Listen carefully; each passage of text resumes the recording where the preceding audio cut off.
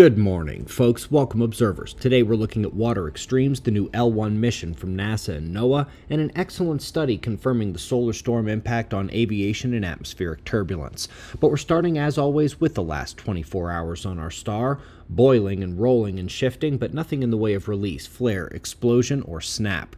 Solar flaring is very low, eruptive activity is low. Solar wind and geomagnetic conditions are expected to be calm to only minorly disturbed in the coming days. It's a nice break in space weather here, and the sunspots aren't exactly developing quickly either. Would take a good bit of organization and growth here for bigger flares to occur. So let's go to the water. Last few decades of drought versus moisture are plotted with major events as bigger bubbles. Red is drought, blue is pluvial both getting more extreme with greater frequency over time.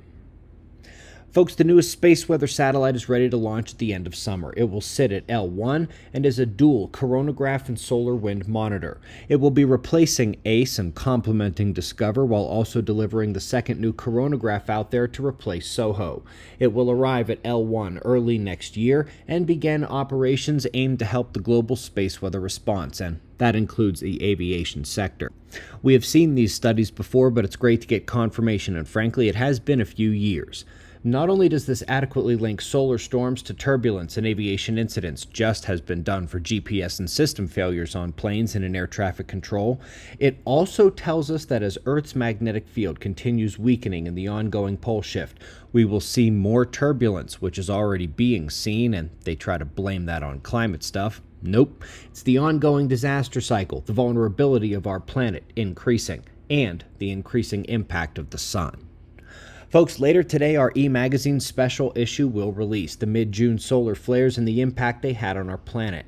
Every month, there is a special issue and a monthly science rundown. When you sign up at the link below, you get access to every past issue immediately. That link is below.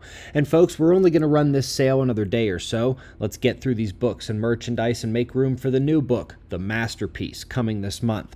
Folks, this is absolutely the last chance to get the Suspicious Observers gear as well before it's all space weather news in the ranch.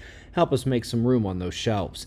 Link is below, both to the store and the e-magazine. We greatly appreciate your support. We'll do this all again tomorrow.